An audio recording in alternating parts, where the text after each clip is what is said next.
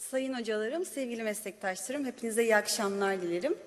E, koroid hemanjiyomu klinik pratikte yaşa bağlı makule dejenerasyonu, santral seröz koroidopati gibi hastalıklarla karışabiliyor. Ben de bugün sizlere koroid hemanjiyomu olmasına rağmen yanlış tanı konan ve buna bağlı yanlış tedavi uygulanan iki ayrı olgu sunacağım.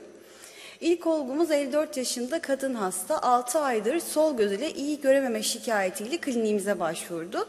Sarı nokta hastalığı tanısıyla sol gözüne 3 kez enjeksiyon yapıldığını ifade ediyordu. Görme keskinliği sol gözünde 3 bölü 10 seviyesindeydi.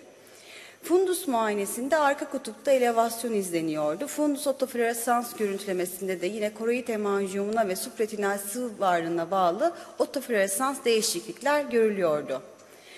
Koroid hemanjiyomu ile uyumlu olarak geç dönem FFA'da hiperfloresan, geç dönem ICG'de hipofloresan izleniyordu lezyon. Hastanın OCT'sinde büyük bir koroid hemanjiyomu ve buna eşlik eden retina pigment epiteli değişiklikleri supratinal sıvı tespit edildi. Hastanın tedavisinde PDT yaptık. Ancak burada en önemli konulardan biri belki de bu. Bu PDT tedavisini koroid hemanjiyomunda nasıl uyguluyoruz? SSR olgularından farklı olarak full dose bolus tarzda vizüdayan enjeksiyonu yapıyoruz. Nitekim hastanın 3. ay tedavisine baktığımızda sonuçları oldukça iyiydi. Görme keskinliği 9 bölü 10'a kadar çıkmıştı. Tedavi sonrası neredeyse koroid tümörünün kaybolduğu ve koroidin ölçülebilir hale geldiği görülüyordu. İkinci olgumuz ise ne yazık ki bu kadar şanslı değil. 56 yaşındaki kadın hasta 3 yıldır sağ göz ile iyi görmeme şikayetiyle kliniğimize başvurdu. Sağ gözüne sarı nokta hastalığı tanısı nedeniyle yine 8 kez enjeksiyon yapıldığını hatta en son enjeksiyonunda 2 ay önce yapıldığını ifade ediyordu. Sağ gözünün görme keskinliği 1 bölü 10 seviyesindeydi. Hastanın fundus muayenesinde diğer olguya nazaran çok daha büyük bir koroid hemanjiyomu izliyorduk. Fundus otofloresans görüntülemesinde de yine geniş bir hipootofloresan lezyon izledik.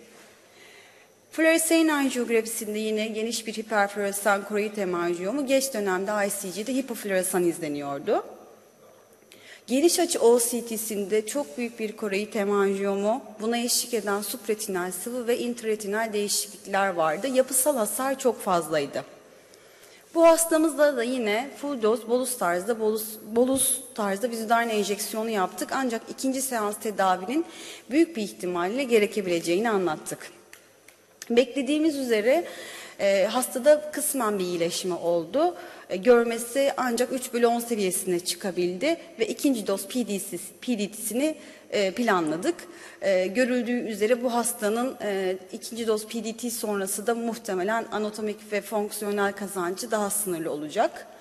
Ee, daha önce de söylediğim gibi koroid hemanjiyomu klinikte e, birçok hastalıkla karışabilir. Ayırsanın doğru yapılması çok önemli. Evet PDT çok etkili bir tedavi ama zamanında ve doğru tedavi uygulamazsak sonuçlar ne yazık ki çok yüz güldürücü olamayabiliyor. Ee, beni dinlediğiniz için teşekkür ederim. Evet, teşekkür ederim.